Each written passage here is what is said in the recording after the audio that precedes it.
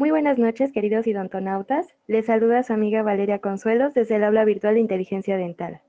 El día de hoy con una nueva emisión de conferencias en línea AME Colegio de Especialistas, patrocinada por nuestros queridos amigos de COA Internacional.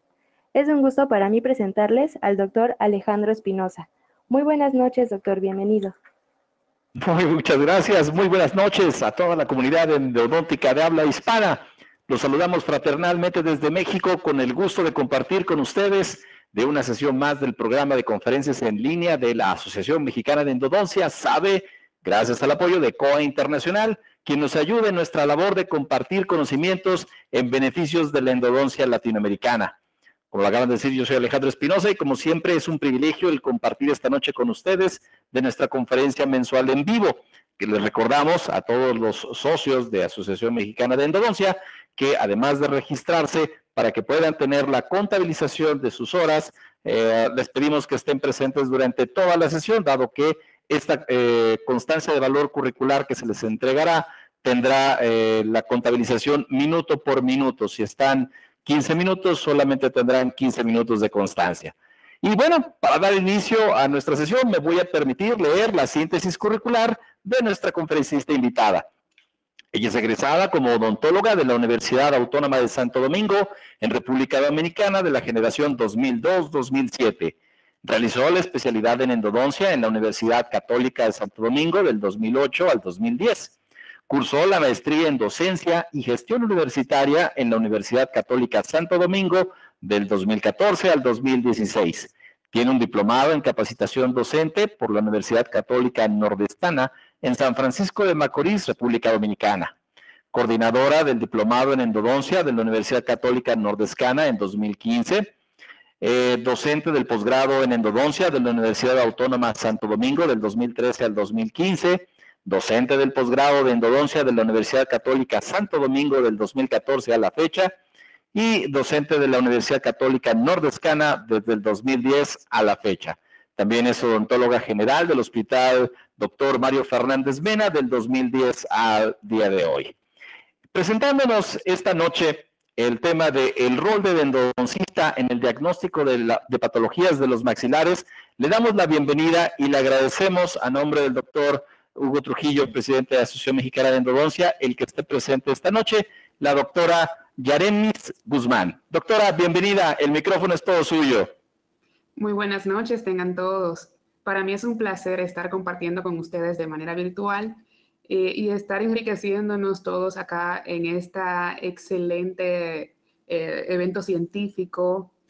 Eh, para mí va a ser un placer también representar a la Sociedad Dominicana de Endodoncia y bueno, mi país también y la Sociedad de Endodoncia Latinoamericana. Con ustedes tengo el tema del rol del endodoncista en el diagnóstico de patologías de los maxilares y vamos a iniciar hablando de lo que es el diagnóstico del dolor. Y hablar del dolor es un tema complicado, pues se dificulta eh, emitir una definición ya que es catalogado como una sensación muy íntima, pues solo quien la padece conoce el sufrimiento que éste le ocasiona. Aún así, en la mayor parte de los casos, el diagnóstico del dolor dental es relativamente fácil. La historia describe un patrón constante y lógico de síntomas.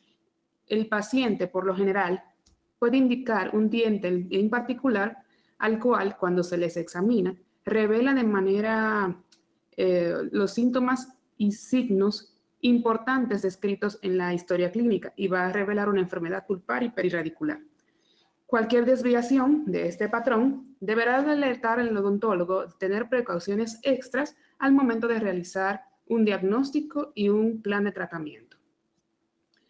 Dentro de las armas principales en el arsenal del odontólogo, tenemos el conocimiento, que en principio el clínico deberá confiar en sí mismo, siendo este el factor más importante que el odontólogo debe poseer.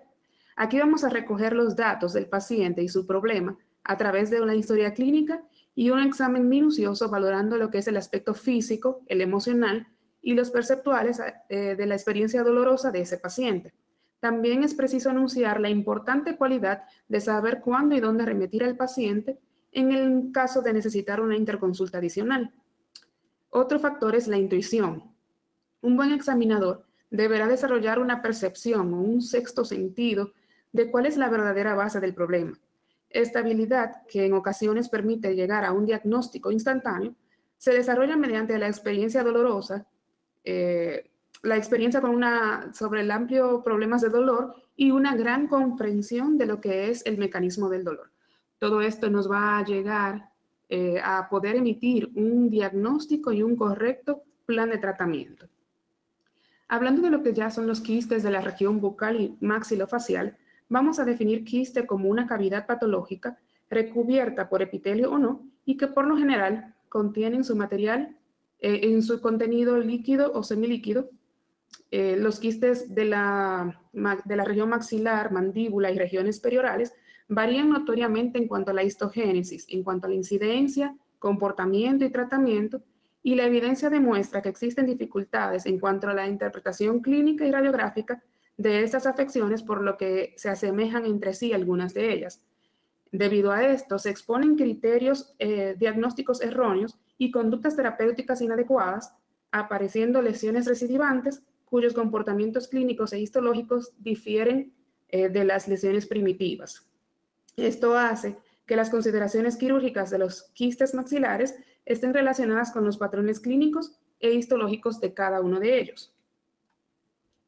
Dentro de la clasificación tenemos los quistes odontogénicos y dentro de este incluyen el radicular, el residual, el periodontal, colateral inflamatorio, dentígero, de erupción, gingival del recién nacido, gingival del adulto, periodontal lateral, odontogénico glandular y queratoquiste odontogénico, del cual estaremos viendo un caso más adelante. Los del grupo no odontogénico incluyen el naso labial y el conducto nasopalatino, que también vamos a ver un, caso clínico eh, a continuación. Los pseudoquistes tienen el óseo neurismático y el óseo solitario o hemorrágico. Y los que están asociados al seno maxilar incluyen el mucoso benigno y el quiste quirúrgico ciliado. Por último, los de tejido blando incluyen principalmente al branquial o linfoepitelial, del conducto tirogloso, dermoide y epidermoide.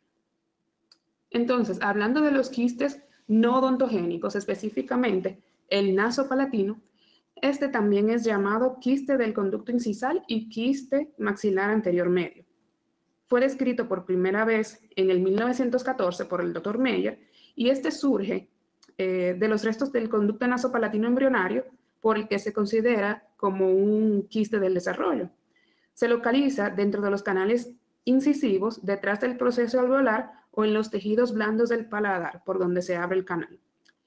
Y aunque algunos autores consideran que esta teoría de la formación del quiste a través de los restos epiteliales de los canales palatinos es incierta, se ha buscado otras alternativas para la etiología de este quiste y la literatura menciona que las infecciones bacterianas y los traumas también juegan un papel importante en su etiología.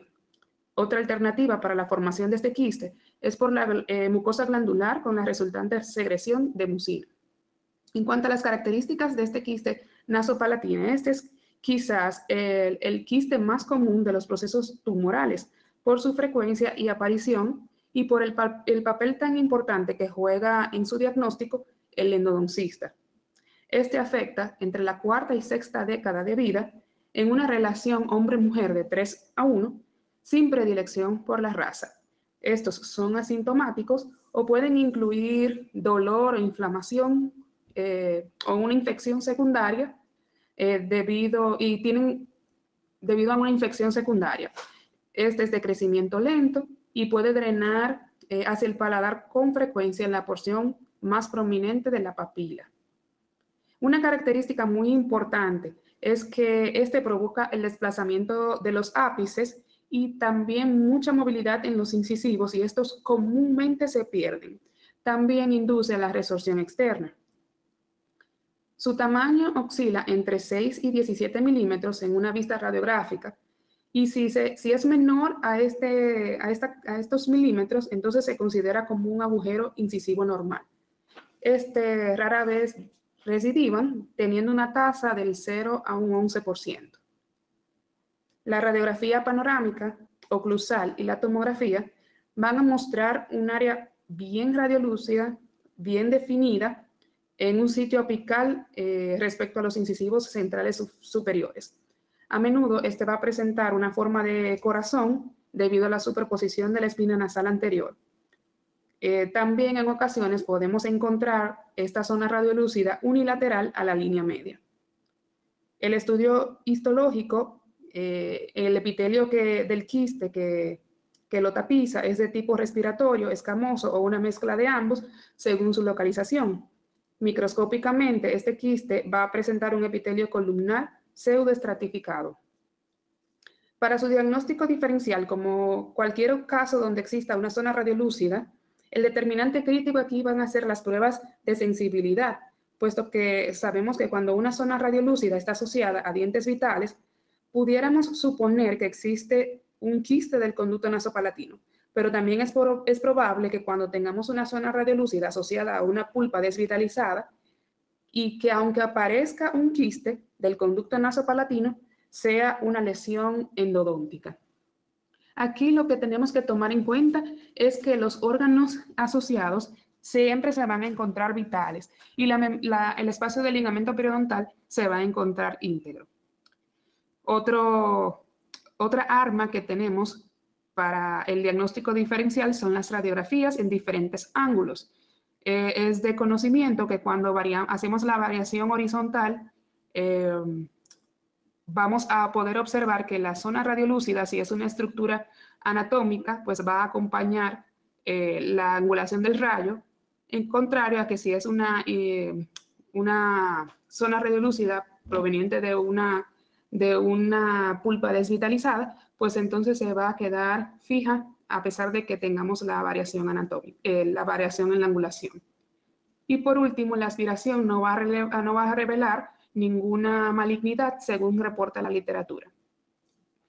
En cuanto al tratamiento, el tratamiento va a ser quirúrgico. Este va a consistir en la enucleación por su baja tasa de recurrencia o la marsupialización, que estaría indicada en los quistes muy grandes con riesgo de desarrollar una fisura oronasal.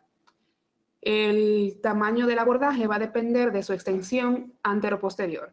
Aquí lo que tenemos que, tener pendiente es que la extirpación debe ser total eh, y ya que se han visto casos donde puede haber una recidiva aún después de cinco años de, realizada la cirugía, por lo que el seguimiento a largo plazo es esencial. En todos los casos, la biopsia es el auxiliar más importante para llegar a un diagnóstico definitivo y la decisión de hacer la excisional o incisional va a depender del tamaño de la lesión y de la contigüidad con las estructuras anatómicas importantes. Hay que realizar un curetaje local y esto va a sacrificar casi de manera inevitable los vasos y nervios de, nasopalatinos, lo que va a ocasionar una pequeña parestesia en el paladar y algunos pacientes pueden eh, referir que esto es incómodo al momento de articular algunas palabras o durante la masticación. Entonces, la revisión de la literatura, veamos este reporte eh, de Omar Reyes Velázquez y colaboradores, donde ellos resaltan la importancia de diagnosticar precozmente estos quistes y tratarlos de manera adecuada. Aquí vemos un paciente de 37 años de edad sin antecedente sistémico, donde su problema inició hace eh, tres años antes de su consulta al presentar dolor en el diente número 21. Este, al diagnóstico presentó una pulpitis irreversible y no se realizó, no, este se hizo la apertura, pero no se finalizó el tratamiento y luego de seis meses llega la consulta con una fractura dental y se decide la extracción. Seis meses después se vuelve a la consulta con un dolor en la zona anterior del maxilar y se le realizó una punción aspiratoria y la biopsia incisional dando como resultado un quiste del conducto nasopalatino.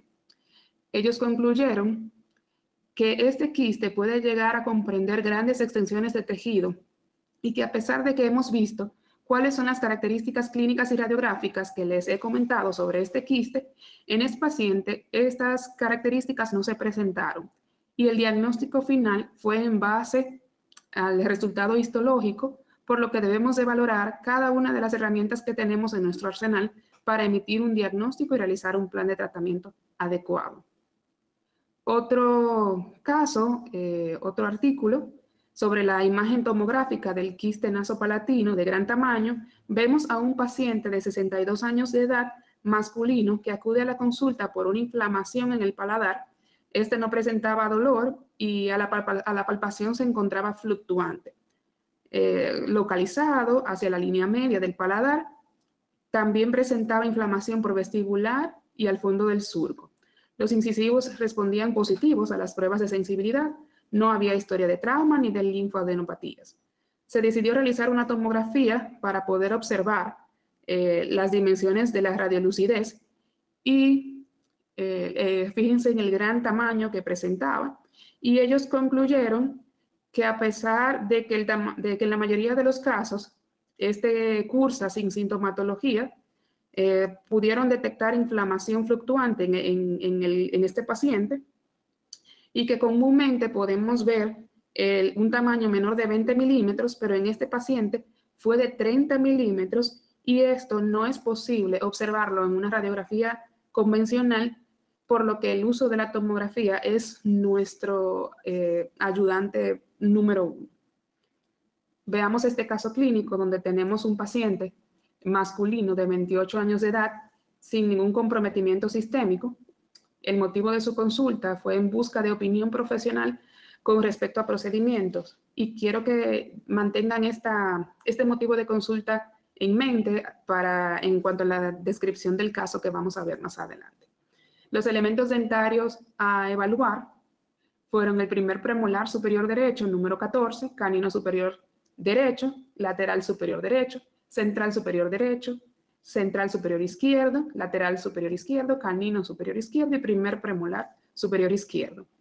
En cuanto a los síntomas, él presentaba molestia a la palpación y a la presión. En el examen extraoral se encontraba sin alteración y en el examen intraoral presentaba caries y restauraciones deficientes. Entonces se les realizaron las pruebas desde el premolar hasta del lado derecho hasta el premolar del primer premolar del lado izquierdo respondiendo positivos tanto el premolar, el 14, el 13, el 12, que es el lateral superior derecho, eh, presentaba necrótico al el central superior derecho, no se le realizaron las pruebas, pues que tiene un tratamiento endodóntico. El central superior izquierdo también respondía eh, positivo, el lateral superior izquierdo también, y el canino y el premolar también presentaban una pulpa vital. Entonces, en este momento hicimos una interconsulta con el cirujano maxilofacial y le planteamos al paciente eh, las propuestas de tratamiento, medimos las lesiones y eh, que eran bastante considerables. le indicamos la tomografía para poder observar el gran tamaño de la lesión y la destrucción de las estructuras anatómicas importantes. Otra vista.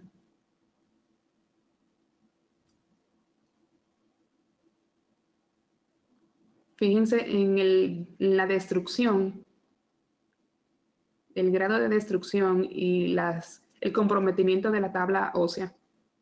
Entonces, en este momento decidimos, eh, le planteamos al paciente pero si recordarán, el paciente estaba buscando eh, opiniones, opciones de tratamiento.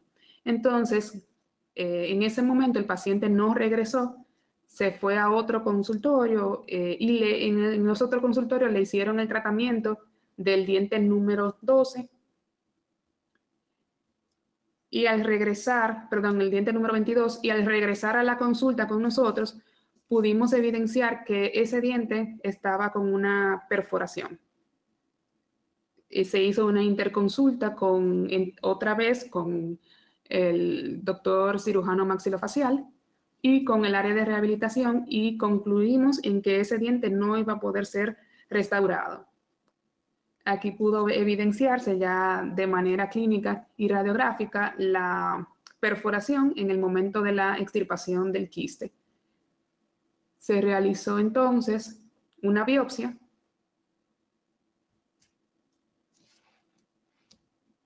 dando como resultado quiste del conducto nasopalatino en ambos lados. Esto es una radiografía eh, control donde ya el paciente se encuentra sin sintomatología hasta el momento. Continuando con otro caso, tenemos el quiste dentro del grupo odontogénico, específicamente el queratoquiste. Este también es llamado quiste primordial, quiste odontogénico queratinizado. Este fue inicialmente descrito en la literatura por Philipsen en el 1956 y ya posteriormente en el 63, Pinborg, Philipsen y Henriksen establecieron criterios histológicos y caracterizaron un comportamiento clínico específico para esta lesión. El queratoquiste odontogénico se, origina de la degeneración y liquefacción del retículo estrellado del, órgano del esmalte antes de que se inicie la formación de esmalte y dentina. Puede provenir de un germen dentario perteneciente a la serie normal o de un supernumerario. Y en estos casos, el queratoquiste odontogénico se va a encontrar en el lugar del diente y no en asociación directa al elemento dentario. Además, de acuerdo con Shear y Suscoin en el 76, esta lesión quística puede tener origen a partir de la lámina dentaria o de los restos epiteliales remanentes después de la formación del órgano dentario. En estos casos, no habrá ausencia del diente, ya que el mismo se encontrará formado o en proceso de formación. En cuanto a sus características, este quiste es relativamente raro, puesto que representa cerca del 12% de los quistes odontogénicos se puede encontrar en cualquier región de los maxilares, incluyendo la línea media y la región glóbulo maxilar. Y aunque por lo general se pueden, ellos tienen predilección por la región mandibular en un 65%, en el área de los terceros molares, seguidos por los segundos y primeros molares, y por último en la región anterior. Cuando estos aparecen en el maxilar superior, existen predilección por la región de premolares y raramente invaden el maxilar. Estos se pueden presentar en jóvenes y ancianos, tanto en sexo masculino como femenino, y no obstante van a mostrar una predilección por el género masculino de raza blanca. Cuando estos se encuentran múltiples, se, se asocian al síndrome de Gorlin-Goltz. Estos mayormente son asintomáticos y se van a descubrir por un examen de rutina eh, en su fase inicial son asintomáticos. Eh, sin embargo, en otros casos puede provocar dolor, aumento del volumen de los tejidos blandos, expansión del tejido óseo, eh, asimetría facial, drenaje de exudado purulento, parestesia de labios y dientes, y también puede causar migración de los dientes vecinos. Una característica muy importante es que es lo agresivo que es este quiste. Eh, eso lo hace, lo destaca de los otros quistes y esto se puede deber a que, esta, el epitelio queratinizado tiene un mayor potencial de crecimiento que, el, que cualquier epitelio de, queratinizado de otro quiste. Según Main, en el 1970, los exámenes radiográficos pueden mostrar eh, los queratoquistes en diferentes formas y lugares, teniendo los quistes de reposición o sustitución, eh, que son aquellos que se van a localizar en el lugar de un diente. Tenemos el número uno en la imagen número uno. Los de envoltura o circundantes, que es el número dos, eh, lo vamos a encontrar envolviendo la corona de un diente. El extraneus, o también llamado no esencial o, o externo, este se va a localizar en el ángulo y la rama ascendente eh, sin provocar la expansión de los corticales óseas. Y por último tenemos el colateral, que lo vamos a encontrar en, la en, una posición lateral a una raíz de un elemento dentario. Vamos a tener una zona eh, radiolúcida unilocular, bien delimitada por un halo radiopaco de límites regulares o festoneados, pudiendo entonces simular un aspecto multilocular. Histológicamente, eh, su origen histológico no es bien conocido. Lo vamos a encontrar con una superficie de paraqueratina corrugada, rizada, arrugada. Su capa fina es delgada, con poca o ninguna célula inflamatoria.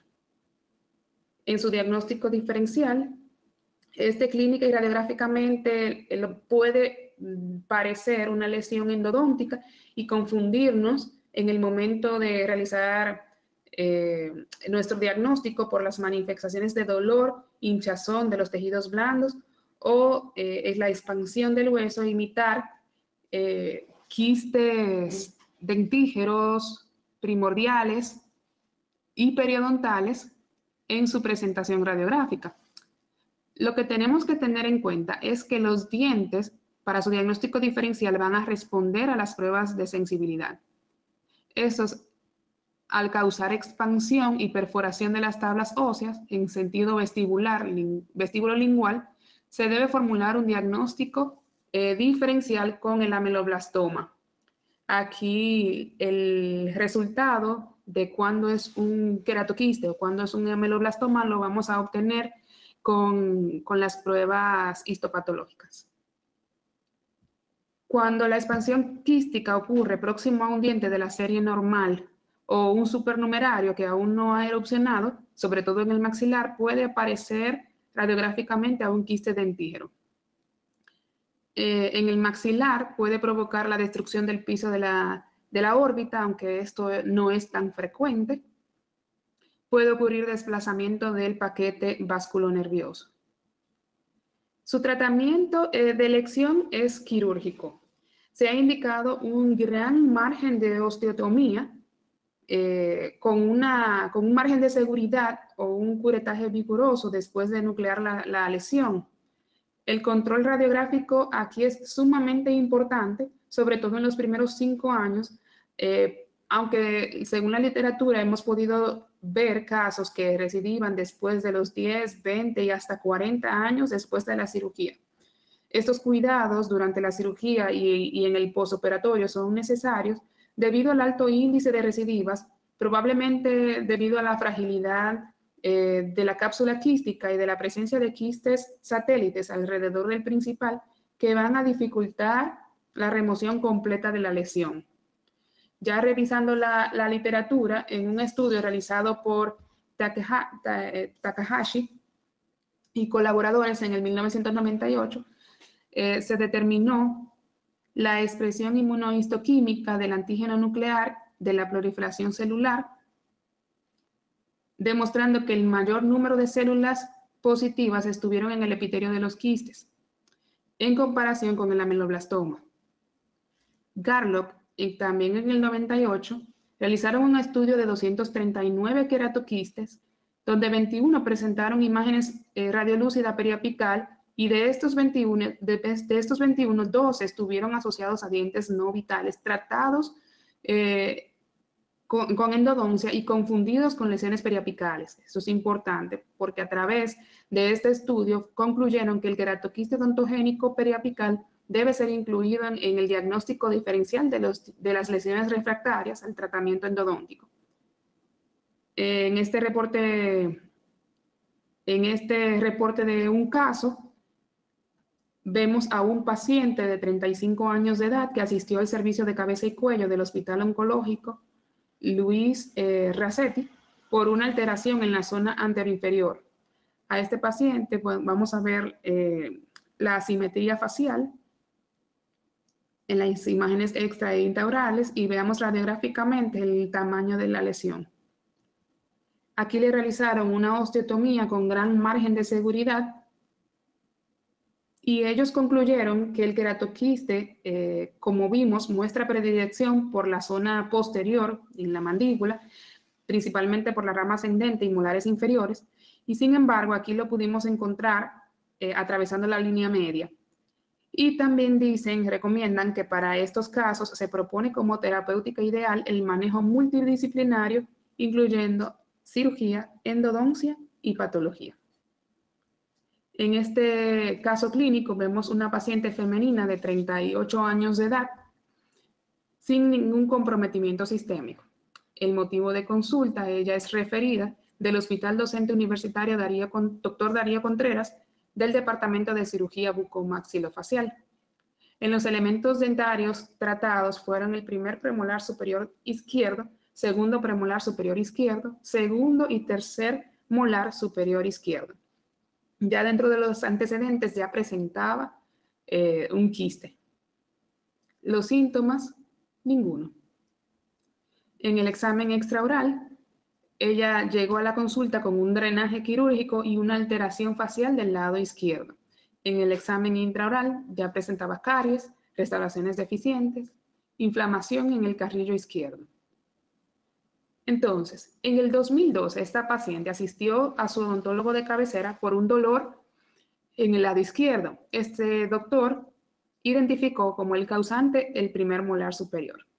Y fíjense que acá tenemos un diente retenido y varios dientes.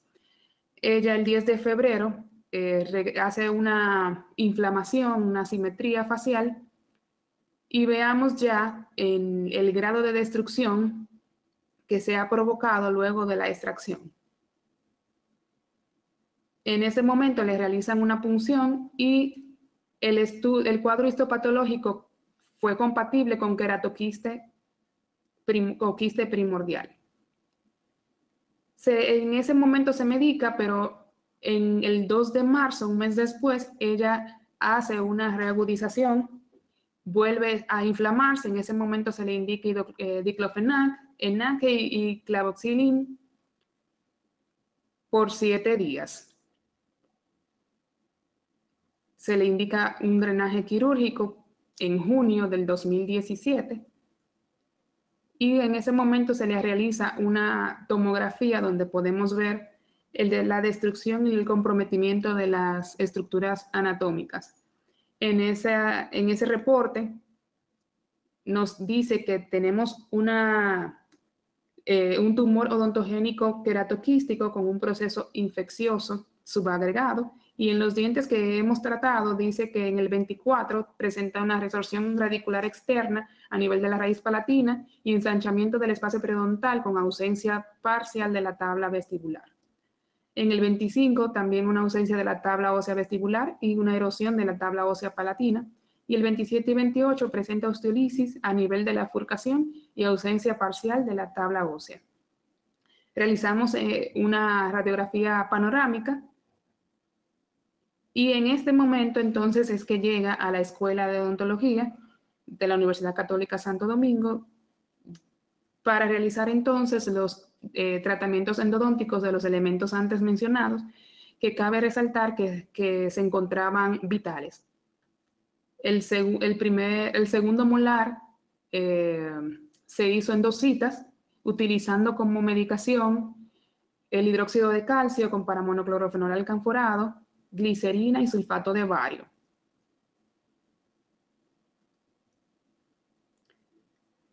En agosto del 2017 le realizamos un control donde podemos ver eh, totalmente recuperada la salud de la paciente se encontraba sin sintomatología y es en ese momento entonces donde pasa al departamento de cirugía bucomaxilofacial del, del Hospital Darío Contreras y es atendida por el doctor William Álvarez, quien le realiza la extirpación de la lesión, fíjense en el gran margen de osteotomía que, que fue realizado para poder hacer la enucleación. Entonces se le decide colocar un tutor que sirve como guía para eh, la reparación al hacer una, descompresión de la, tabla ósea.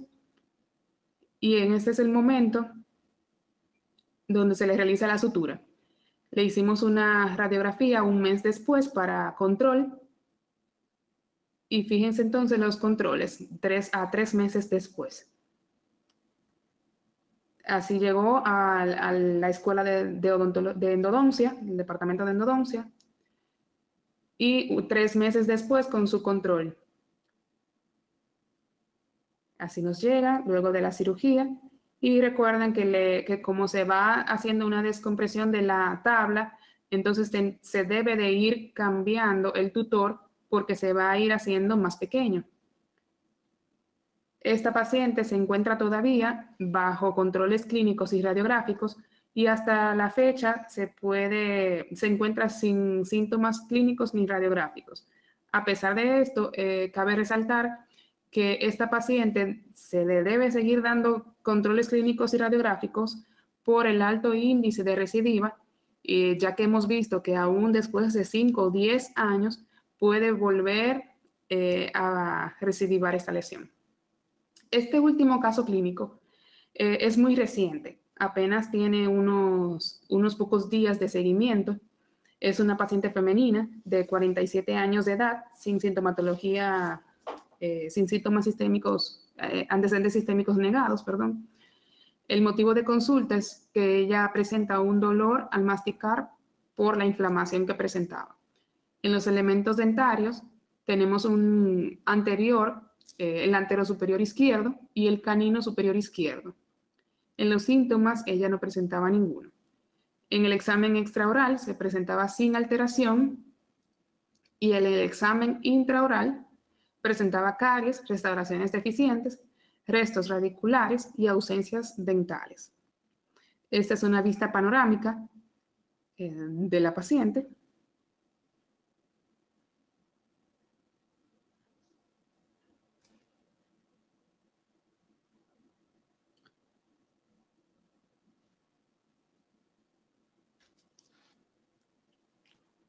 Se ha quedado frisado.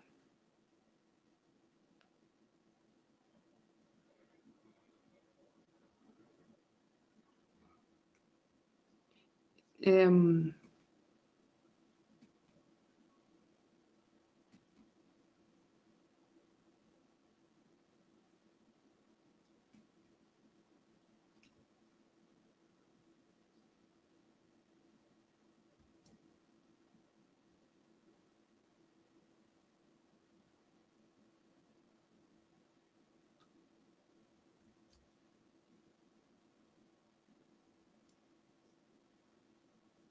Bueno, iba a mostrar unas imágenes intraorales de la paciente.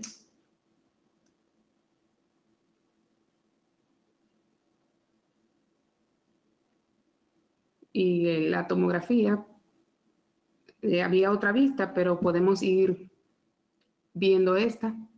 Fíjense en el sector anterior donde se va perdiendo la tabla ósea y el gran tamaño de la lesión. Los senos paranasales también podemos ver cómo hay se, una involucra el piso de las fosas nasales. Aquí podemos ver el tamaño de la lesión. Y, ah, cuando llegó al departamento de endodoncia, se le realizaron las pruebas y este diente eh, se encuentra vital, respondía como una pulpa sana, no había historia de trauma, eh, tenía caries, pero no, no, era profunda. Entonces se hizo una interconsulta con el cirujano eh, bucomaxilofacial y debido al tamaño de la lesión, eh, este decide que en el momento de la cirugía iba a ser necesario realizar la pisectomía, por lo que se, se necesitaba realizar el tratamiento endodóntico previamente. Entonces se le realizó el tratamiento endodóntico y se obturó en el tercio apical con MTA y ya luego su endodoncia, eh, su obturación convencional. Se restauró con resina inmediatamente. Ese es el momento de la cirugía donde le hicieron la apicectomía, se le colocó hueso y una membrana para mantenerlo. Esta es la cápsula quística y también se tomó una muestra del líquido y se realizó eh, la biopsia que dio como resultado hiperplasia epitelial con erosión importante asociada a inflamación crónica agudizada intensa en la mucosa del epitelio escamoso. Eso es un control apenas con 21 días.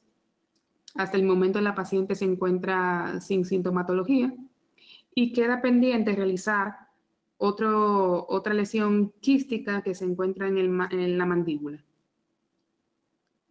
Ya para concluir, podemos decir que al realizar un diagnóstico de forma disciplinada y ordenada, se puede simplificar en gran manera uno complicado. Nuestro rol como endodoncista en el diagnóstico diferencial implica una gran responsabilidad, pues el dolor es una sensación generada por diferentes causas y provoca signos y síntomas muy variados la información que se obtiene a través del interrogatorio, el análisis radiográfico y las pruebas pulpares, que son nuestras herramientas, son fundamentales para determinar los diagnósticos en endodoncia. Es aquí donde entra en juego el acúmulo de conocimientos y la experiencia que uno va adquiriendo al realizar diagnósticos en la práctica clínica. eh, debe el, endodoncista debe ser astuto y estar bien informado al establecer un diagnóstico de lesiones óseas. Es evidente que para que tengamos una correcta indicación de tratamiento, tiene una, una enorme importancia el establecimiento de un diagnóstico lo más preciso posible. Por eso cabe resaltar que la interconsulta es de suma importancia, ya que permite desarrollar una visión global y multidisciplinaria ofreciéndole al paciente un plan de tratamiento con mejores expectativas de resultados, compartiendo con otras especialidades el problema para así obtener un excelente resultado a largo plazo. Por lo que mi recomendación es valorar y fomentar la cultura del trabajo en equipo. Muchísimas gracias por la atención y quisiera compartir con ustedes un video de República Dominicana para los que no han tenido la oportunidad de visitarnos. Si por favor pueden colocar el video.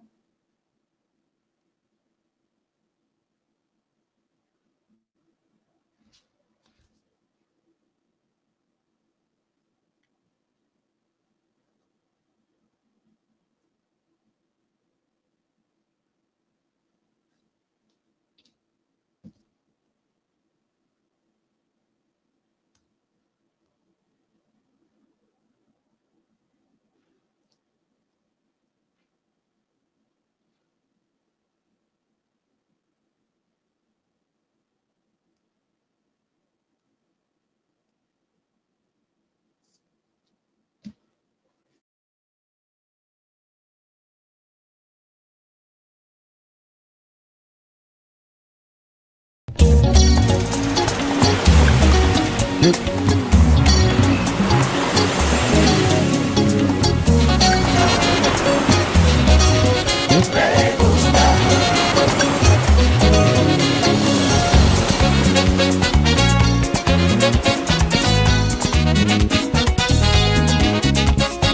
gusta.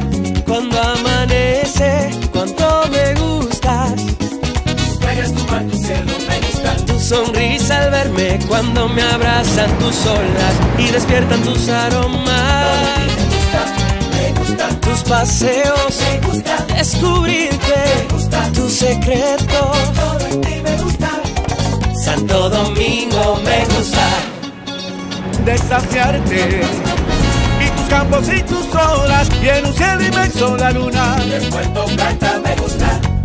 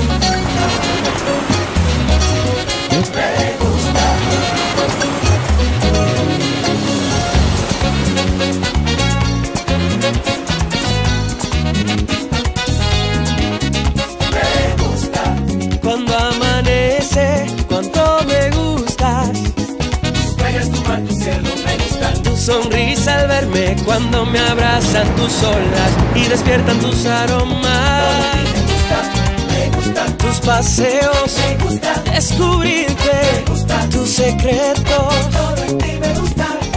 Santo Domingo me gusta. Desafiarte y tus campos y tus olas y en un cielo inmenso la luna. De Puerto Plata me gusta.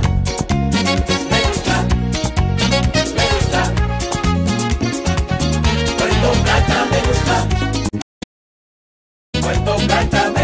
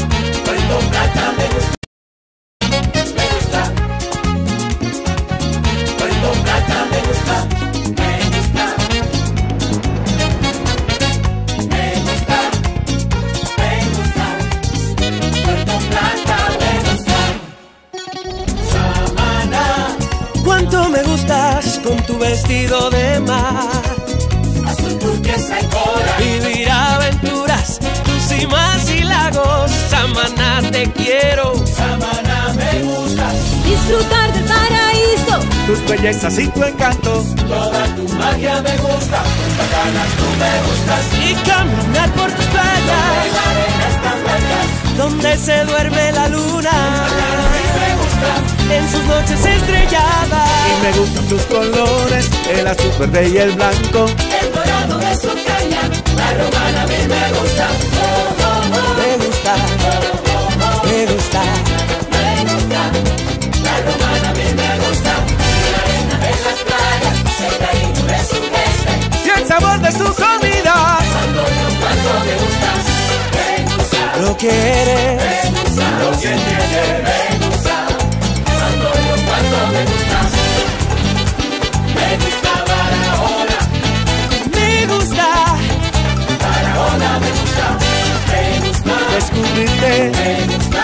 Me gusta. Maradona me gusta. Arahuatoa, cuánto me gustas. Me gusta. Arabacoa me gusta. Navegar tus ríos,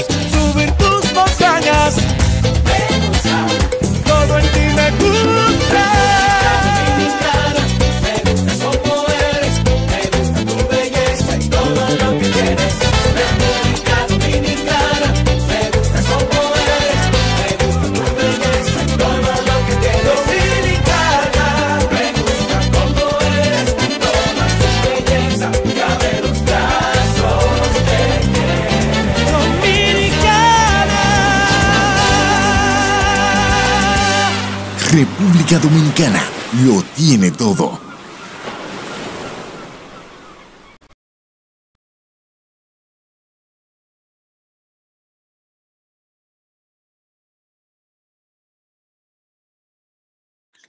Muy buenas noches, eh, doctora Yarenis Guzmán. Buenas noches, sí, muchísimas gracias. Y como les decía, esto es un rinconcito de cada lugar de nuestro país. Para los que no han tenido la oportunidad de, de conocer, pues aquí les tengo la mejor excusa. Nuestro Mucho. próximo congreso. Tenemos el Congreso Internacional de Endodoncia y el segundo Congreso Endodóntico eh, de Centroamérica y el Caribe. Tenemos todos estos conferencistas eh, confirmados ya. Es el 29 y 30 de noviembre y esperamos tenerlos a todos por allá, en Santo Domingo. Muchísimas gracias por la atención. Muchísimas gracias, doctora Yarenis Guzmán. Soy el doctor Enrique Chagoyán, eh, también encargado de las conferencias eh, virtuales en línea por parte de la Asociación Mexicana de Endodoncia. Sabemos que estuvo en contacto co- con usted el doctor Alejandro Espinosa y pues a través del doctor Hugo Trujillo, nuestro presidente de la Asociación Mexicana de Endodoncia, le, le damos el, cordial agradecimiento y vamos a hacerle, eh, vamos a pasar a la, a la, pre- a la parte de preguntas y, y respuestas. Hay muchos saludos, eh, saludos de la doctora Lina Patricia desde Bucaramanga, Colombia. Saludos desde República Dominicana de la doctora Fátima Guadalupe. Hola a todos. Desde Tecpan de Galeana, Guerrero, el doctor Carlos Miranda. Eh, muchos saludos diversos de la República Mexicana, desde Tula, Hidalgo. Saludos de la doctora Raquel Traña, de Guatemala. Gracias a todos por la atención. Saludos también desde, desde Argentina, la doctora Natalia Belén Montiel. Wow. La doctora Yoli Balcona desde Perú. Doctora, un gran saludo. Igual, gracias. La doctora Maritza Martínez desde Jamaica. Interesante la presentación y muchísimas gracias. Eso es lo que le comenta la doctora Maritza Martínez. Gracias. El doctor Héctor Polanco Lara. Excelente conferencia y muy interesantes casos clínicos. y muy bien presentados. Un saludo desde el Estado de México. Gracias, espero que haya sido de mucho provecho para todos. La doctora Berenice Barrera. Doctora, muchas gracias por la revisión que dio. Es muy útil recordar estas patologías para la consulta día a día. Así es. Saludos desde México, Yucatán. La doctora Cecilia Núñez, saludos desde Guadalajara. Eh, la doctora Claudia Noemí, saludos desde Argentina. La doctora Jacqueline Molina, felicitaciones, excelente conferencia, saludos desde el Estado de México. Hola, hola a todos. El doctor, doctor Eric de los Santos, saludos desde República Dominicana, excelente, Yareni. Hola, Eric. La doctora Cintia Galindo, desde Guadalajara, Jalisco. Y doctora, queremos hacerle la entrega de, del diploma. No sé si me pueden eh, ceder los derechos, por favor, los privilegios para hacer la, entrega del diploma. Sí, em, Aquí va. Sí, doctor, ya está. Gracias. Por favor, si nos comparte, listo. Claro. Y dice, la Asociación Mexicana de Endodoncia, Colegio de Especialistas en Endodoncia, AC, otorga el, presente reconocimiento a la doctora Yarenis Guzmán por haber sido ponente dentro del programa académico de las conferencias en línea de la Asociación Mexicana de Endodoncia, sabe, con el tema rol del endodoncista en diagnóstico de patologías de los maxilares. Eh, a fecha del día jueves 19 de septiembre del 2019, eh, a nombre del doctor Edgar Hugo Trujillo Torres, que es nuestro presidente, el doctor José Alejandro Espinosa Armida, el doctor Enrique Chagoyán Benavides, doctor Jaime Gonzalo Barahona Baduy y la doctora Gisela Cañavera Zambrano. Le otorgamos este reconocimiento virtual. Doctora, muchísimas gracias y muchas felicidades. Le agradecemos el, el tiempo prestado aquí en su casa de la Asociación Mexicana de Endodoncia y esperamos tenerla pronto eh, en, de nuevo aquí en nuestra, en nuestra aula de inteligencia dental. a ustedes muchísimas gracias por la invitación. Claro que sí. Espero volver pronto, ya sea de manera virtual o como gusten, pero sí eh, compartir lo que todos amamos, lo que todos nos apasiona. Es correcto, doctora. Pues me, me da mucho gusto. Esperamos, esperamos poderla tener de nuevo en- de manera virtual o si no, en manera presencial. Gracias, gracias. Muchísimas gracias, doctora. Y bueno, para todos nos- nuestros idontonautas, queremos recordarles que existe una manera en la que podemos saber cuánto tiempo se encuentran en el, en el área, en el aula virtual. Así que les recomendamos estar eh, toda la charla, toda la plática, porque los minutos que se encuentran en el aula son los que son contabilizados para su crédito, sus horas crédito. También recordarles el siguiente congreso que vamos, que estamos en la organización, que será en Puebla, en nuestro centro de convenciones William O. O. Jenkins. Estará el doctor Yang, el doctor Anthony Chanotis, entre otros, con una constancia con valor curricular. eh, estará un coffee bre- break durante el congreso, el cóctel de bienvenida en el centro de convenciones, bien, con- centro de convenciones. Habrá una fiesta retro. Es importante comentarles que quedan pocas habitaciones en, el, en los hoteles cercanos del centro de convenciones. Entonces, de preferencia, em, comunicarse a los teléfonos que aparecen aquí o, en su defecto, eh, localizar algún hotel cercano a estas áreas. Habrá una fiesta retro 80s y 90s, así que vamos a, a irnos preparados todos. Y bueno, por nuestra parte, eso sería todo. Eh, nos agrada siempre tenerlos en esta aula de inteligencia dental y los dejamos aquí con nuestros patrocinadores. Muchísimas gracias a nombre de la Asociación Mexicana de Endodoncia. Se quedan con nuestros patrocinadores. Que, pasen buenas noches. Muchísimas gracias, doctor Enrique Chagoyán, por esta interesante información, a la doctora Yarenis Guzmán por esta interesante conferencia. Le mandamos un fuerte abrazo hasta República Dominicana. Muchas gracias, doctora. Gracias a nuestros queridos amigos de COA Internacional, pero sobre todo a ustedes, queridos idontonautas, que se conectan de nuestro país y de países hermanos latinoamericanos. Fue un verdadero placer haberlo recibido el día de hoy en el ciberespacio. Les agradecemos mucho su tiempo, confianza y preferencia. Les recordamos, queridos idontonautas, que con su conexión en la plataforma GoToWebinar se acredita directamente su CADI y lo verá reflejado en máximo 48 horas. A quienes nos acompañan por vía Facebook o YouTube, les pedimos ingresar a www.inteligenciadental.com diagonal CADI. Su constancia de asistencia digital del día de hoy podrán acreditarla con el número 854. Nos encantará encontrarlos en esta su aula virtual para que disfruten de las interesantes conferencias que tendremos en vivo para ustedes. Se despide de ustedes su amiga Valeria Consuelos. Que tengan una bonita noche. Hasta pronto.